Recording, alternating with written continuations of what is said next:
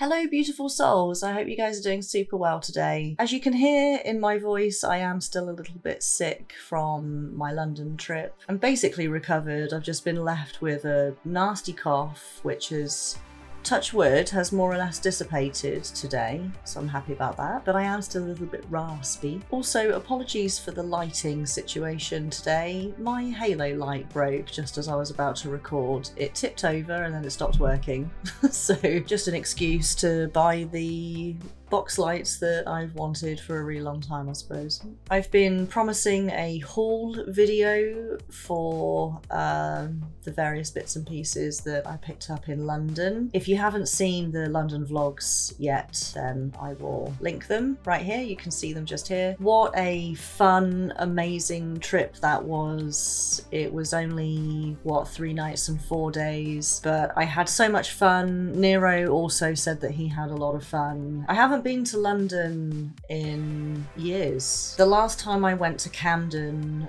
was probably when I was about, I think I said this in the vlog, I think I was a teenager. I wanted to talk a little bit about the difference because Camden has changed a lot. I mean, you expect places to change, right, when you haven't been there for over a decade but boy has it changed. When I went to Camden, I didn't actually realise that it just so happened to be World Goth Day. I didn't realise until a couple of days later once I'd gotten home, and I was like, wait a second. It was World Goth Day a couple of days ago. That was the day I was in Camden. What a perfect time to be in Camden, right? But weirdly, the only goths I actually saw there were the employees uh, in Sai I saw a couple of punks, but that was it. Uh, Camden was basically full of normies. Even most of the traders in the stables and in Camden Market were kind of normies. I, I, mean, I don't mean any harm, but when I was a teenager, and I mean, we're, we're talking like the early 2000s, full of goths, full of punks, full of alt people, right? I actually felt at home when I went to Camden in the before time. I felt at home there because I've always kind of dressed and styled myself in this way. Everywhere I go, I've always been the unique person, right? So going to Camden was really refreshing because finally I was surrounded by people who all looked like me. They're all inked, pierced, dreads, brightly coloured hair, styled in a very alt way, whatever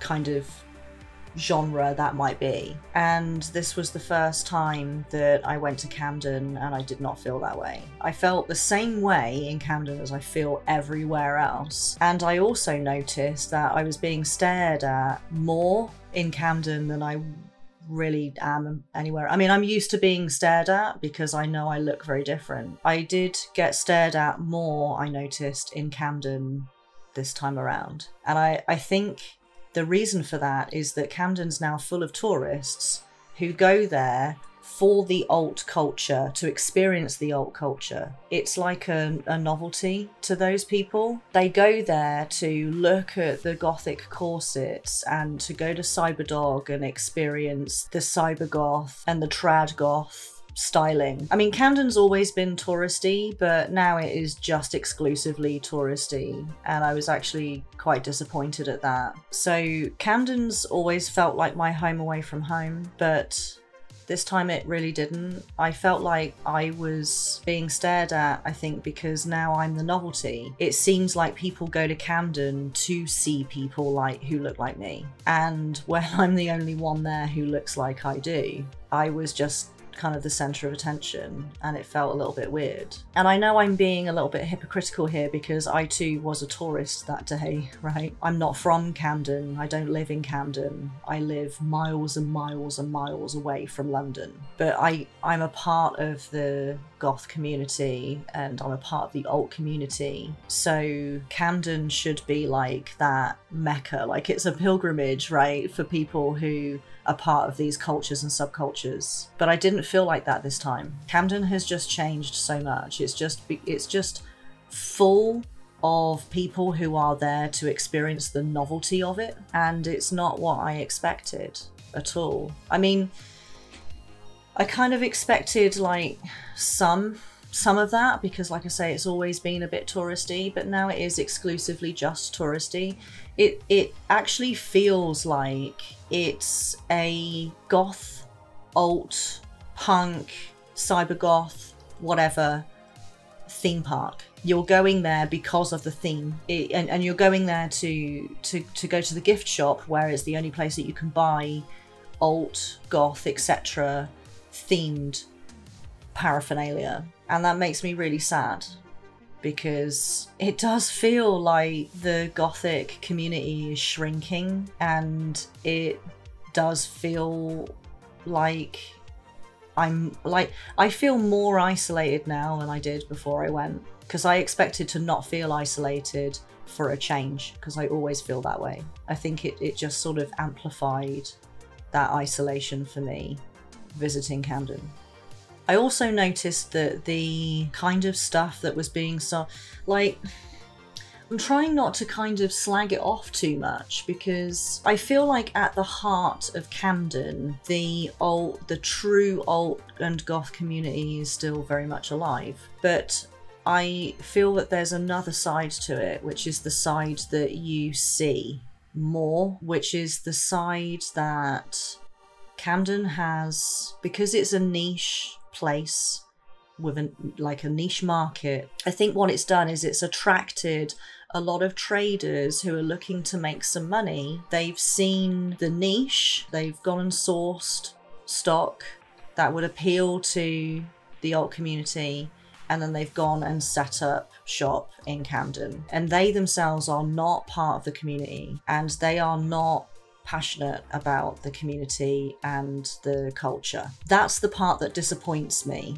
because I went to Camden so that I could immerse myself in the culture that I do my best to immerse myself in, just me, myself, and I, in where I live where there are no goths anywhere near me and I don't have any goth friends so I feel isolated a lot of the time. So I went to Camden so that I could not feel that way just for a day. So I could meet some people who are like me, who are interested in the culture, part of the culture, part of the community. And I didn't find that.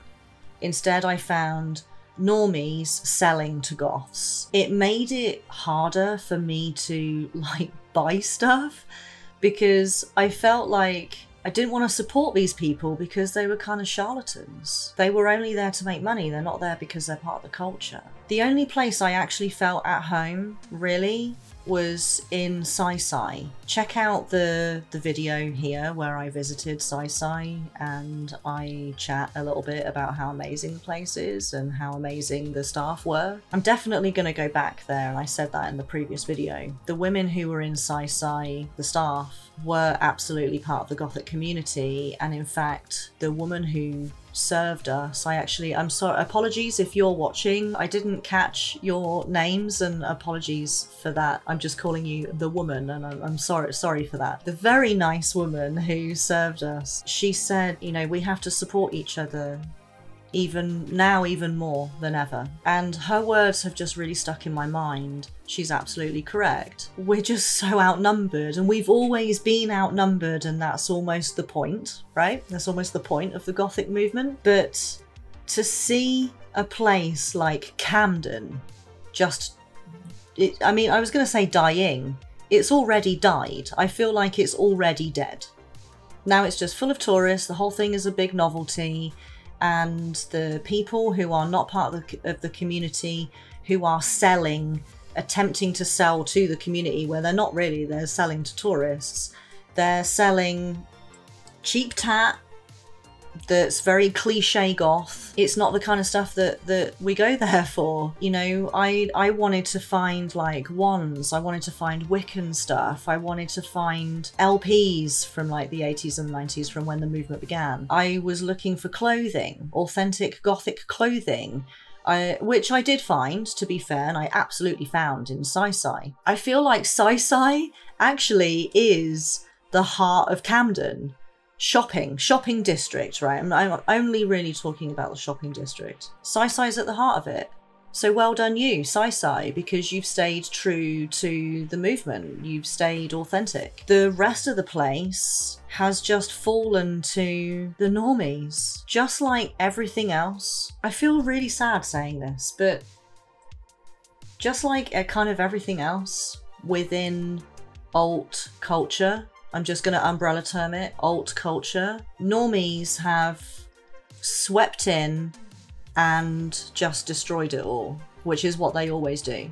And I'm not trying to pick on anyone here, but it's everywhere on TikTok in particular. There's lots of people who they're quite young, they're teenagers or in their early 20s maybe, who consider themselves to be goth and consider themselves to be part of the alt community. And I'm certainly not going to sit here and say, no, you're not, because that's gatekeeping and I'm not into that. However, um, they're not true to the movement. They'll just wear the clothes and they'll have the the sort of witchy woo gothic paraphernalia around their house. But they're not like goth in their heart, right? And anyone watching this who is truly goth, you'll know exactly what I'm talking about. I just I feel really sad that Camden has changed so much. And I mean, if any of you know of a place that is now how Camden was, tell me about it. Please tell me about it because I want to go there because I, I just, I feel sad that after my experience in Camden, I kind of feel like I have nowhere to go where I can be truly authentically me and be fully 100% accepted by the people around me and, you know, won't be stared at because it's not that I look the same as everyone else because the point of being goth is that you look individual, but I don't get stared at for being goth. I'd rather be stared at because I have a cool look, right? I mean, obviously, that's not the reason I dress the way that I do but I hope that makes sense what what what I'm saying there. When I get stared at, it's because people are like, "Whoa, she's a goth," and you know you don't see it very often. That's not the reason I want to be stared at. like if I'm gonna get stared at at all, I'd rather I didn't get stared at at all. But if I am going to be stared at, I'd rather it's by another goth because they're like, whoa, your eyeliner looks really awesome. Like, how did you do that? Or how long did it take you to do makeup? Or your dreads look really cool. Or, or like your dress looks awesome. Where did you get it? You know, I and and that's the sort of experience that I hoped to have in Camden that I did not have.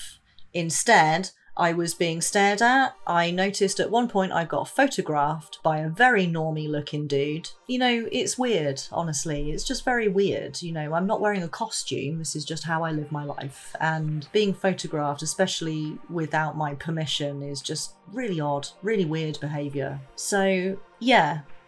Camden wasn't what I thought it was going to be. However, having said that, I did have an awesome shopping trip. I'm not trying to, um, I just realised like this video so far is just me sort of being a being a bit gloomy and uh, I, I'm not um, I didn't set out to do that. I suppose really I just wanted to share my very true and authentic experience in Camden and unfortunately wasn't a great one in terms of, you know, the culture and, and such. Having said that, I still had a really fun time. I think I just I had I carried an expectation, which is on me. That's my fault.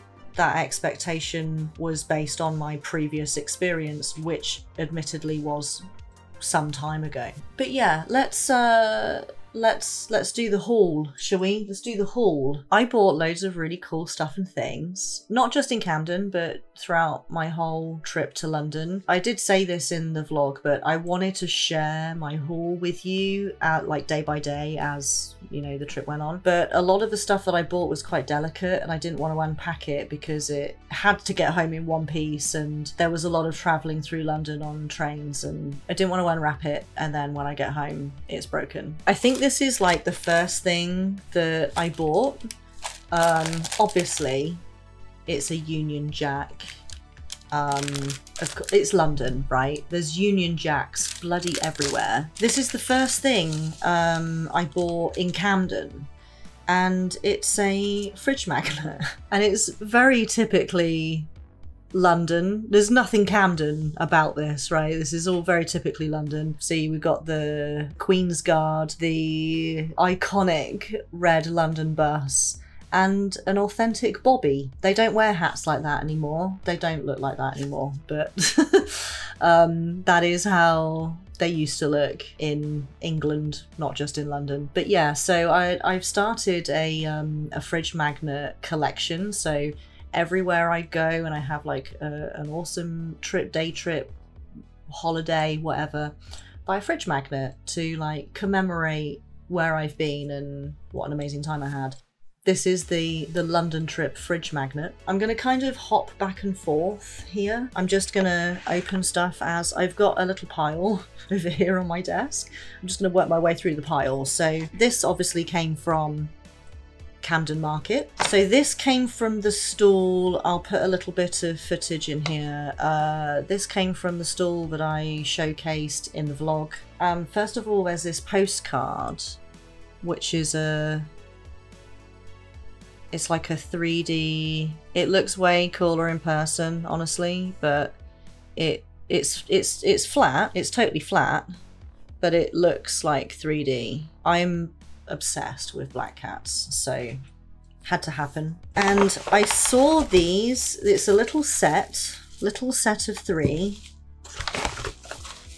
Anyone who knows me well knows that one of my spirit animals is a robin. Reason being, I was never really into spirit animals. I kind of thought it was nonsense. But when my dad passed away, I was visited repeatedly by robins. Robins wasn't always the same one, I'm sure. But whenever I was sat feeling really low, thinking about my dad, a robin would show up every single time. It became like a running joke almost, like, oh, there's a robin again. In the end, I relented and I like Googled it and I looked up what does a robin represent?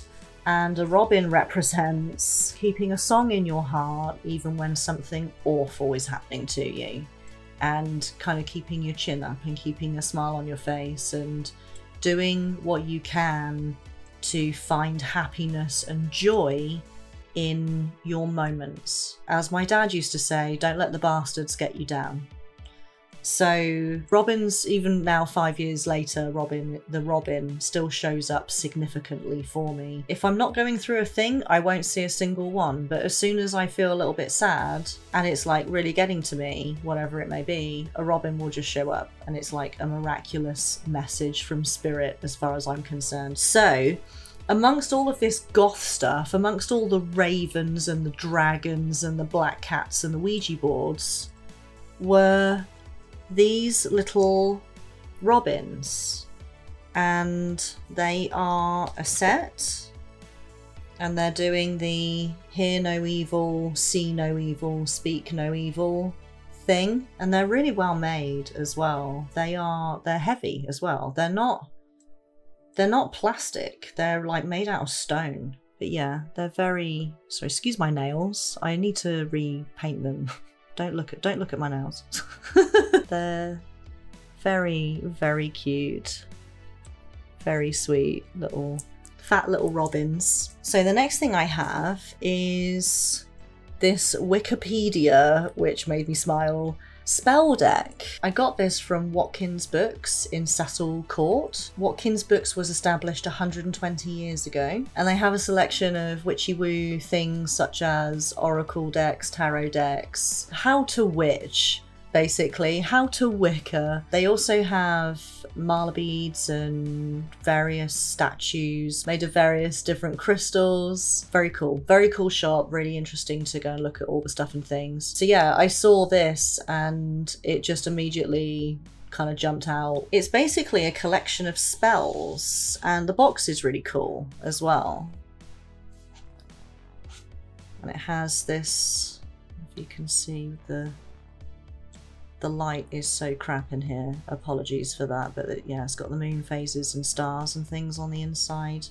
In the lid, inside the bottom box, there's all these dragonflies and leaves and things. So it's like earth, and then the lid is sky, so it's like as as above and so below, which is pretty cool. Comes with this nifty guide. If you're new to Wicca and you, you don't know much about the Witchy Woo, it not only shows you how to use the the deck, but it also tells you about moon phases, when's the best time to cast certain spells on which moon phase, how to charge your crystals. It talks about different candle colours and their influences what you would have as part of your toolkit for spell casting, so how to set up your altar. So yeah, su super useful, very cool um, if you're new to this kind of stuff. It has all these different spells. Every single one is a different spell. It's split into sections. So there's the Wiccan Sabbats, there's pets